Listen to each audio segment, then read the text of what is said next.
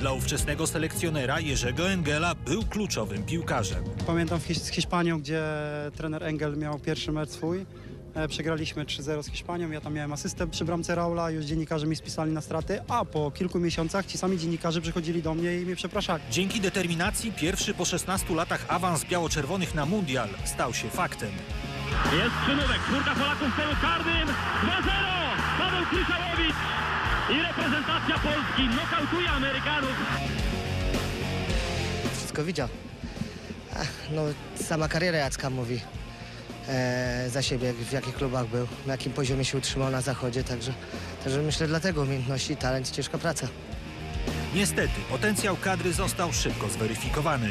Podobnie jak 4 lata później w Niemczech, Polacy nie wyszli z grupy. 2006 roku Holender Leo Benhaker objął reprezentację narodową. Trener Ben Hacker powiedział, dajcie mi lepszego krzynówka, to, to inny będzie grał. No na tamte czasy no nie było lepszego. Polacy mieli pierwszy raz awansować na Euro. Ogromne znaczenie miało spotkanie z Portugalią. Zaczęło się od trafienia Mariusza Lewandowskiego.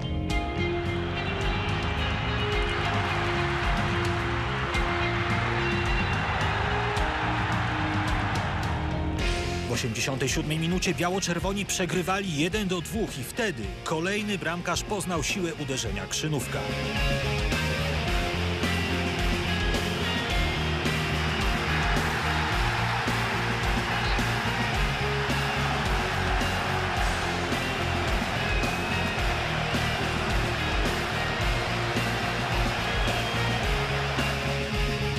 Przed turniejem lewy pomocnik błyszczał formą, strzelał bramki w sparingach. Niestety, na Euro 2008 Polacy się przejechali, nie wychodząc z grupy. Ale wkład Krzynówka w najnowszą historię rodzimego futbolu jest nie do przecenienia. Szkoda, że on się tak wcześnie urodził. Szkoda, że się nie urodził później i nie może grać tutaj Mistrzostwa Europy na naszej ziemi, tutaj polskiej i może z sukcesami ogromnymi. Byli na pewno przede mną o wiele, wiele lepsi piłkarze, a nie, nie osiągnęli tego, co ja osiągnąłem. I z tego jestem przede wszystkim zadowolony, że 96 razy grałem dla swojego ukochanego kraju. Tam, gdzie zaczął, tam zakończył. W Radomsku koledzy z kadry i przyjaciele zagrali pożegnalny mecz dla Jacka Krzynówka. Mi się wydaje, że poprzez ten etap, w który grał w reprezentacjach, no, jest jedynym piłkarzem, oprócz y, Jurka Dudka, który na to zakończenie zasłużył w pełni.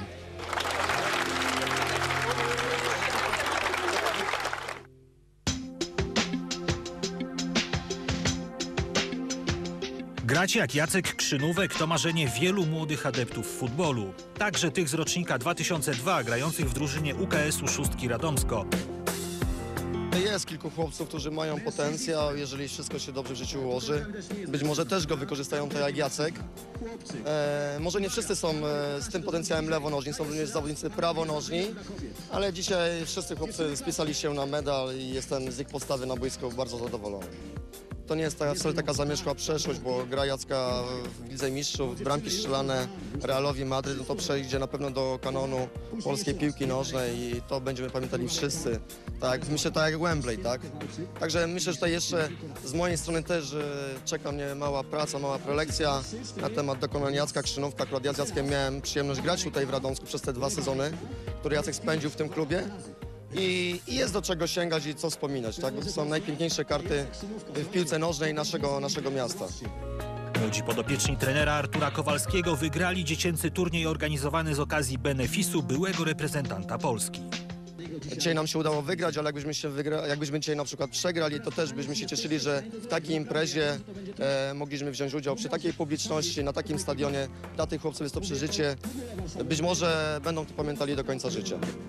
To właśnie w Radomsku, niedaleko rodzinnych Szanowic, zaczęło się dla Krzynówka poważne granie w piłkę.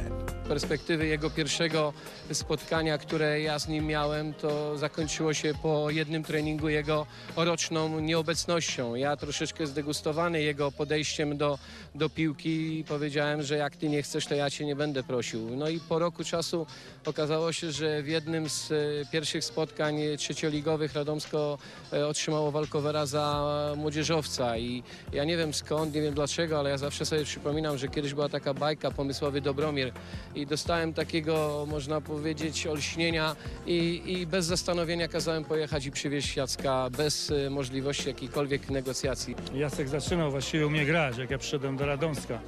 Bardzo dobry, ciekawy chłopiec z małej miejscowości. Był przepis, że ma grać junior. I on był tym juniorem, który grał, później młodzieżowiec i także poprzez ten przepis, że on jako młodzieżowiec trafił do Radomska. Ja pamiętam taki, taką anegdotkę, kiedy, kiedy w ogóle pierwszy raz przyjechał do yy, Radomska wpatrzony przez pana yy, Dąbrowskiego. Wziął go tylko dlatego, że zobaczył kiedyś, że z połowy boiska strzelił bramkę. Przeskok z B-klasy tutaj do trzeciej ligi, jak mnie prezes Dąbrowski ściągnął, był straszny. Eee, a ja w swoim debiucie strzeliłem bramkę już, tak? Chłopak z B-klasy, kurczę, z, z jakiejś tam wioski, eee, od razu wczy- przyszedł do trzeciej ligi, strzelił bramkę. 18 lat miałem, 18 lat. Całkiem dawno. To jest wyjątkowy chłopak, on był wyjątkowy, jest wyjątkowy.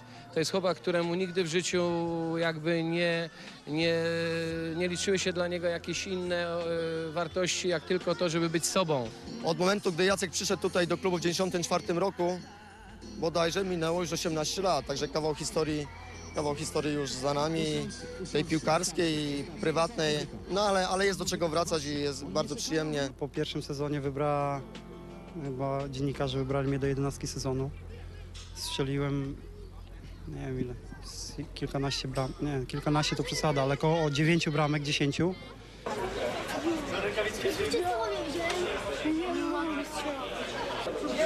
Prawy obrońca! Głos! Jak głos? Jak? Pan pisze na głos w przodzie. Jak? Gdzie? Ja na ławkę idę, nie głowie do, przodu. Michalski, tak? Normalnie gramy.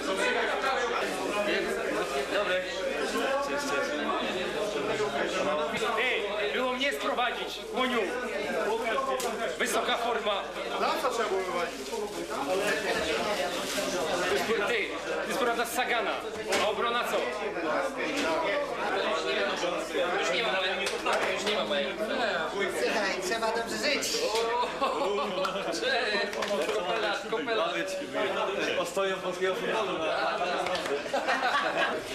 Jurek Wójtek będzie jedynka, tak? Tak. I Andrzej Kretek dwunastka.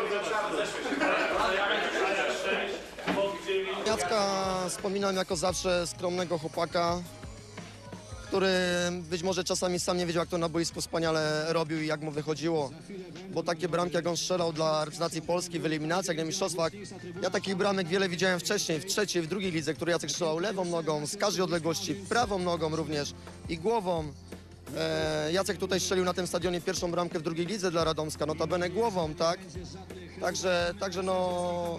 Jacka zawsze mile wspominam, grałem z nim w dwóch klubach i w Rakowie Częstochowa razem spędziliśmy kawałek czasu tutaj w Radomsku i później śledziłem przebieg jego naprawdę wielkiej kariery i ten chłopak, e, nic się nie zmienił. To jest ciągle ten sam Jacek, taki jaki był, jak przyszedł tutaj do Radomska, skromny, koleżeński, sympatyczny, zawsze porozmawia, zawsze, zawsze ma czas i myślę, że tutaj naprawdę to jest niesamowity przykład dla tych młodych zawodników i takich ludzi jak Jacek naprawdę możemy polecić do naśladowania. Przez RKS Raków Częstochowa Krzynówek trafił do GKS-u Bełchatów. Przy sportowej spotkało się dwóch specjalistów od rzutów wolnych. Godziliśmy te rzuty wolne, bo mówię, Jacek wiadomo miał różne lepsze lewej nogi, ja z prawej, także mieliśmy swoje jakieś tam pozycje i jakoś sobie tam mówię, dzieliśmy te, te stałe fragmenty gry.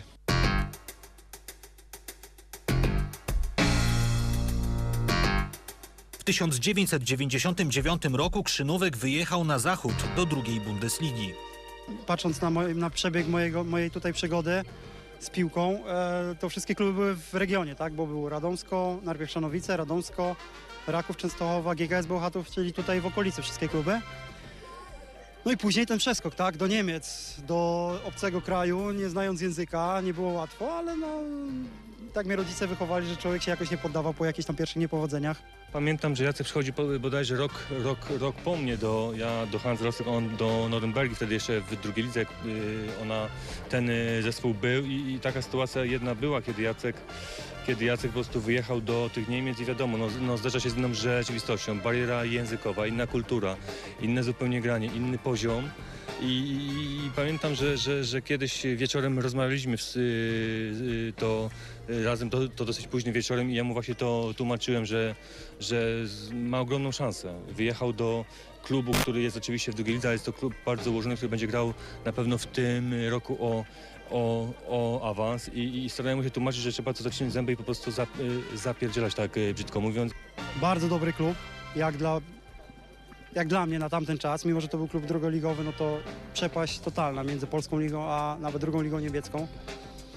Jacek jest strasznie zawzięty. Ja pamiętam jak byłem w 2000 roku w Noremberdze, a wtedy jak awansowali bodajże do pierwszej Bundesligi stracił miejsce w pierwszym składzie.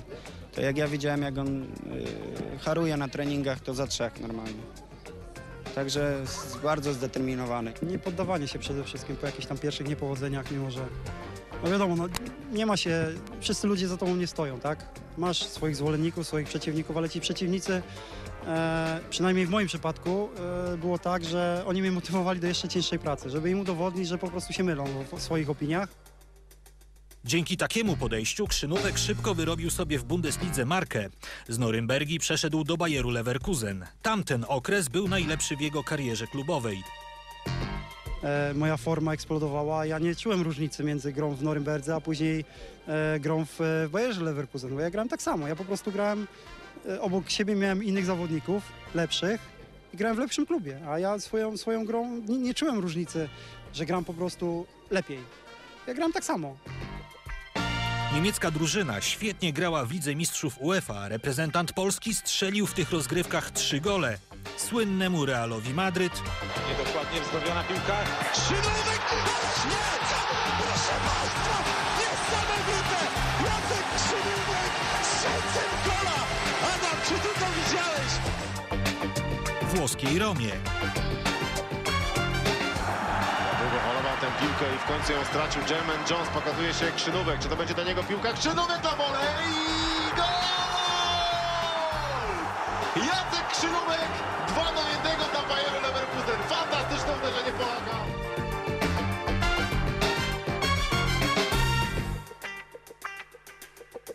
Pokonał też swojego kolegę z kadry.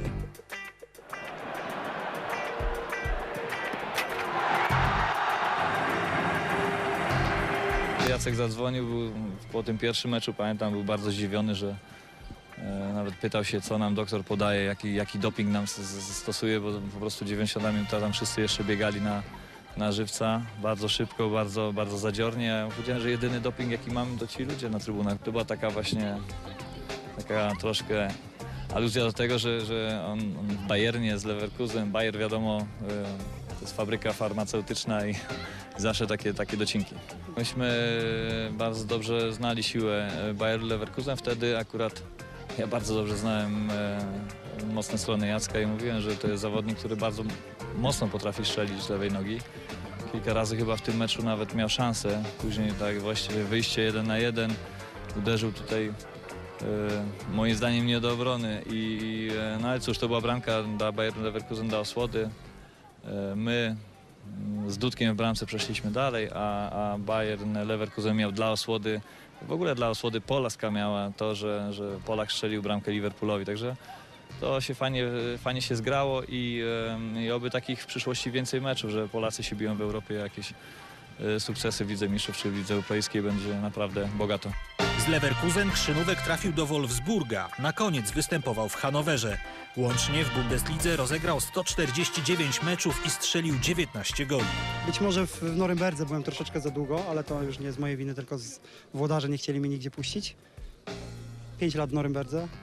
Dobra szkoła życia, nauka języka przede wszystkim. Y, Duży, duży udział uważam y, w karierze jego końcowej miał trener Magan, który go bardzo dobrze przygotował, bo to był to trener, który z twardą ręką gonił, wymagał i on między innymi wtedy się odbudował, wzmocnił te swoje stawy kolanowe i jeszcze poszedł do przodu i nam tutaj pomógł, prawda, w reprezentacji. E, Jest bardzo twardym zawodnikiem, bardzo upartym e, w swoim działaniu. 96 meczy w reprezentacji to jest po prostu nie lada wyczyn. E, Na palcach, nie chcę powiedzieć jednej ręki, można w Europie takich zawodników policzyć. Może reprezentanci Hiszpanii jest, są w uprzywilejowanej sytuacji, ale, ale w obecnych czasach zagrać tyle meczy, prawie po setkę, to jest e, światowa klasa. Myślałem, że dojdzie do setki, że będzie jak, jak Michał Żewłakow, nie? No bo to razem na tym samym pułapie szli. No ale kontuzja jest jak jest. Łatwo zrozumieć, dlaczego pożegnalny mecz Jacka Krzynówka wzbudził takie zainteresowanie. Nie mogę dobrze oddychać teraz w tej chwili, bo jak oddycham, to mnie normalnie rozpiera. Od pierwszej minuty do ostatniej. Do ostatniej. Do ostatniej kropli krwi. Po co, przepraszam? Przy kogoś Panowie, wciągamy brzuchy. Neptun, węża wypuść. Ale za... uspokoił go. Spodenki odpowiemy. Od dwóch tygodni nie było wejściówek już na, e, na to spotkanie. E, Szkoda, że dwie przynajmniej trybuny za bramków nie, nie były otwarte, bo tak to podejrzewam byłoby e, ponad 5 tysięcy ludzi tutaj. Gdyby można było otworzyć kolejne trybuny, które od kilku lat niestety nie są użytkowane, już od 10 lat prawie, więc nie można ich było dopuścić do, do dzisiejszej imprezy, byłoby prawdopodobnie jeszcze więcej e, kibiców, bo są spragnieni, czy to nawet takiej zabawy, czy kilku naprawdę prestiżowych postaci, które tutaj dzisiaj przyjechały, czy Jurek Dudek, czy, czy inni chłopcy z reprezentacji, którzy umią się bawić, ale również bardzo dobrze wysławili naszą Polskę, jeśli chodzi o, o piłkę nożną. Można było tylko wpuścić na tą główną y, trybunę, bo w najlepszych czasach Radomca, kiedy grało w pierwszej lidze, no tutaj było po 4-5 tysięcy, a dzisiaj według to, to liczników 2-600, także jeszcze ta połówka to mogłaby wejść, ale i tak na pewno dla Jacka bardzo miła chwila, ponieważ jak pan słusznie to zauważył, dużo to, y, dużo to ludzi, fajny, to doping dla Jacka było na pewno bardzo przyjemne.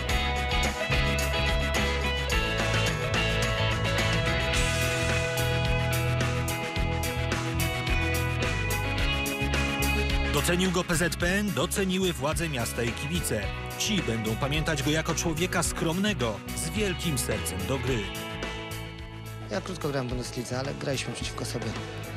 A tak przeważnie z nim, lepiej mieć go u boku niż przeciwko niemu grać. To dziennikarze stwarzają gwiazdy, tak? Bo ja się, ja się nie czułem gwiazdą, a wszyscy mnie, wszyscy mnie tak odbierali, ja robiłem swoje.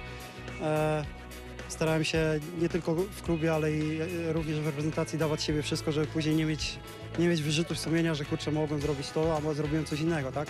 Człowiekiem to jest bardzo dobrym. Yy, Ja jako brat to nie miałem problemów z, z Jackiem. Jak miałem jakiś problem, to zawsze mi pomógł, tak? Zapamiętane też zostaną wspaniałe bramki. Bert Schneider. Krzynówek. Jacek Krzynówek, kapitalna okazja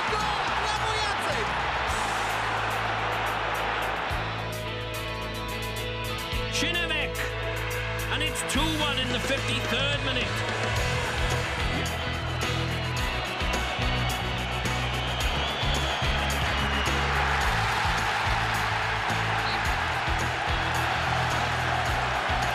Niedokładnie wznowiona piłka. Krzynówek! Proszę Państwa! Niesamowite! Jacek Krzynówek! Strzelcem gola! Pokazuje się Krzynówek. Czy to będzie dla niego piłka? Krzynówek na wolę Krzyżówek 2 do 1 dla Bayeru Leverkusen. Fantastyczne uderzenie Polaka.